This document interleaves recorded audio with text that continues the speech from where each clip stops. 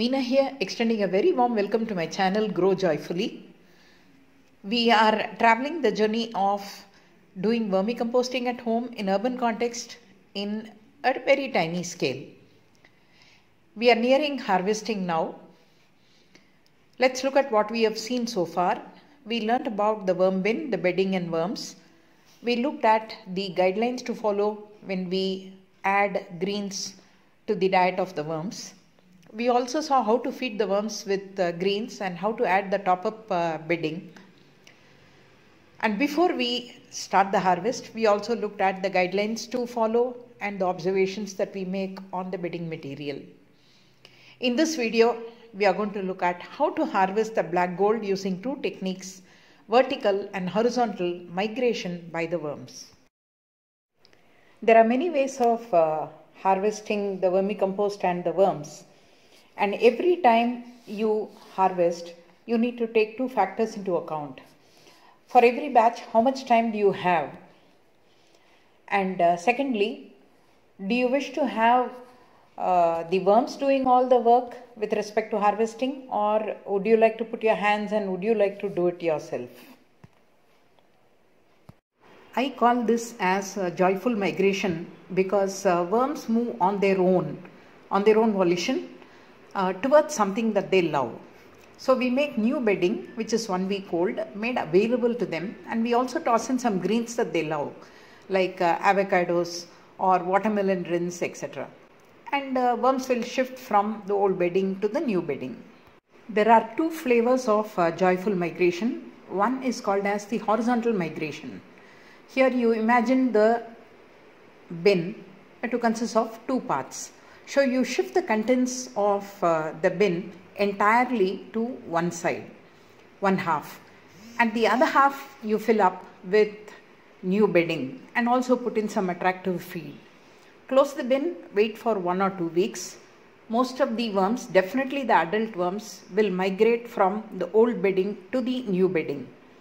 And after that, the old bedding will predominantly be your uh, castings, some undigested brown matter, and cocoons.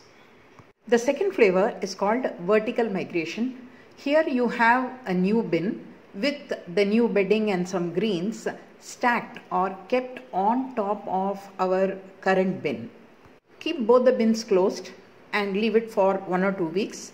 The worms now move upward from the bottommost bin to the top bin. The bottom bin will then consist of the vermicompost and the cocoons. Now migration in both the techniques is usually never 100%. You will still have uh, some stubborn worms uh, still remaining in the uh, old bedding material. You need to remove them manually. There could also be some tiny tots which may you may have to remove manually.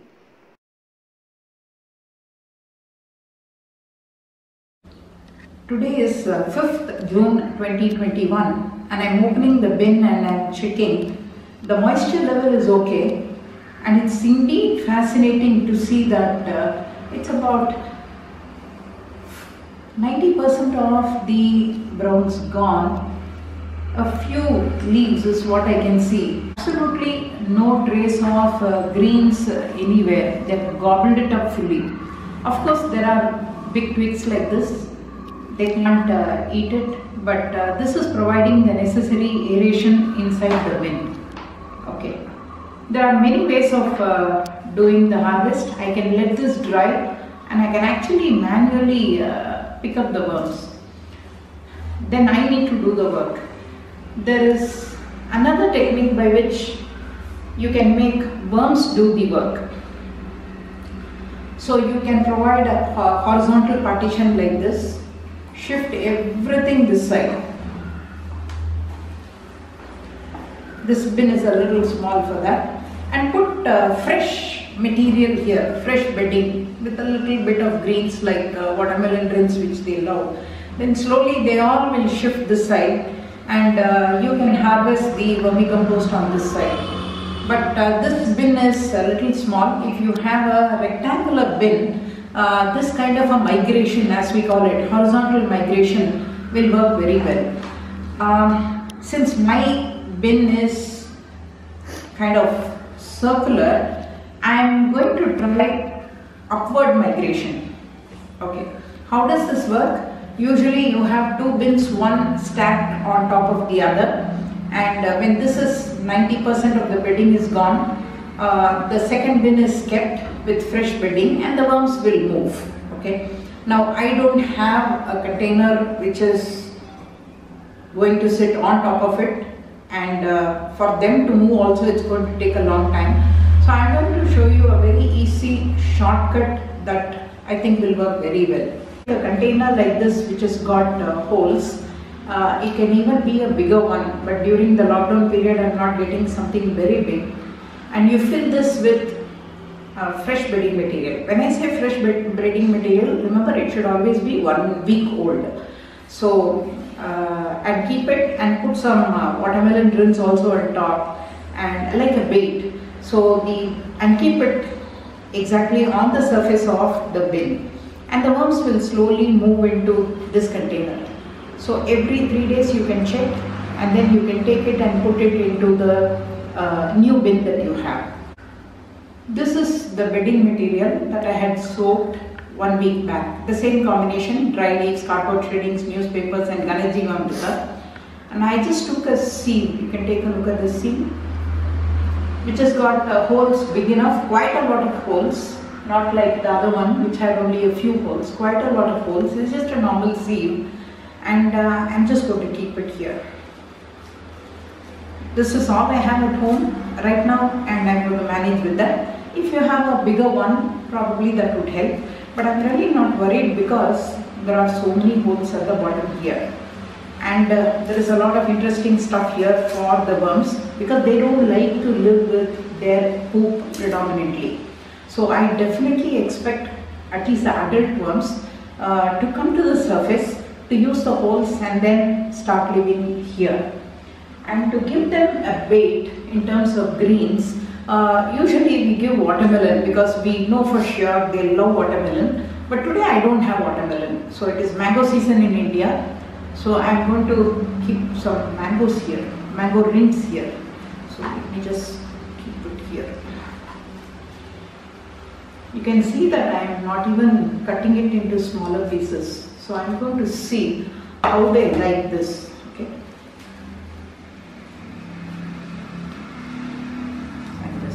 cover this. It's a very practical uh, way of doing it, very easy way of doing it. And uh, every 2-3 days you can take a look at it, see how the worms have gone inside and then you can put it into the bin, uh, the new bin in which you keep the one week old uh, bedding material. And what I'm going to do is, uh, I'm going to use that same old uh, material I'm going to put it here so that it covers and let's see how vertical migration happens. Today is uh, 10th June and uh, I'm going to open the bin. Predominantly I'm going to show you how the migration is happening. Take a look here you can see a lot of castings here, which itself is an indication that quite a few worms have moved in. So I just have to remove this and show you. See here, it's a combination of big and small juvenile worms, tiny tots, all of them seem to be interested in what is here. Okay. I did one more thing. This was a bag in which I got onion and uh, since there was space I put this also uh, this is like a nylon bag you can see the worms uh, trying to move in this had holes so I thought why not try this also uh, you can see here that there are uh, castings here also so there's a lot of lot of worms have moved in here as well now it is not even one week, so it is not fair to expect a lot of worms to move in quickly. So I will wait. I will not remove this right now. And you can see the amount of castings increasing. I'll just quickly show you.